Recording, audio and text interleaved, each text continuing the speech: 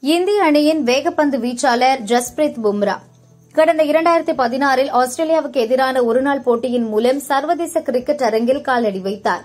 இதுவரை முப்பது டெஸ்ட் எழுபத்தி இரண்டு ஒருநாள் அறுபது சர்வதேச டி டுவெண்டி போட்டிகளில் முறையே நூற்று இருபத்தி எட்டு நூற்று இருபத்தி ஒன்று எழுபது விக்கெட் சாய்த்துள்ளார். இந்திய அணியின் முன்னணி பவுலரான இவரை காயம் துரத்துகிறது. ஆஸ்திரேலிய தொடரின் போது பும்ராவின் முதுகு பகுதியில் ஏற்பட்ட காயம் காரணமாக கடந்த ஆண்டு செப்டம்பர் மாதம் முதல் எவ்வித போட்டிகளிலும் பங்கேற்கவில்லை. பெங்களூரு தேசிய கிரிக்கெட் அகாடமியில் காயத்திலிருந்து மீண்டு வர தேவையான பயிற்சிகளில் ஈடுபட்டார்.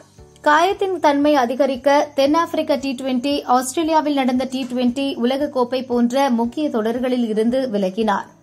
இது இந்திய அணிக்கு பின்னடைவானது.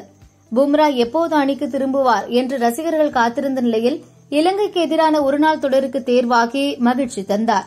ஆனால் இம்மகிழ்ச்சி நிலைக்கவில்லை.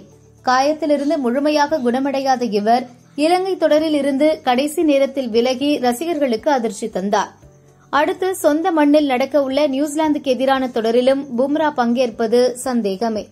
ஒருவேளை இவரது காயம் விரைவில் குணமடைந்து முழு உடற்தகுதி பெற்றால் அடுத்த மாதம் சொந்த மண்ணில் நடக்கவுள்ள ஆஸ்திரேலியாவுக்கு எதிரான நான்கு போட்டிகள் கொண்ட பார்டர் கவாஸ்கர் டிராபி டெஸ்ட் தொடரில் விளையாடலாம்.